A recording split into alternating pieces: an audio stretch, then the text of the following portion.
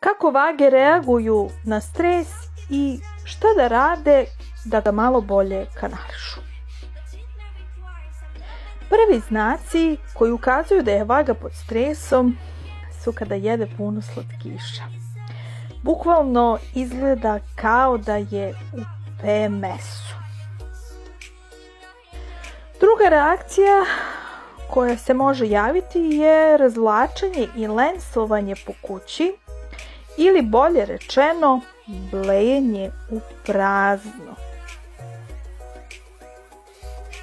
Da bi se oporavila od stresa, za nju bi bilo najbolje da ode na romantičnu večeru sa partnerom ili sa nekim novim potencijalnim partnerom.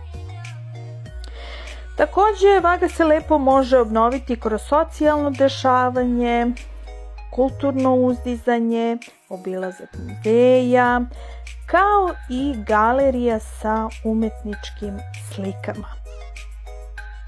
Ako ti se dopadaju ovakvi savjeti, onda klikni na follow i vidimo se ponovo.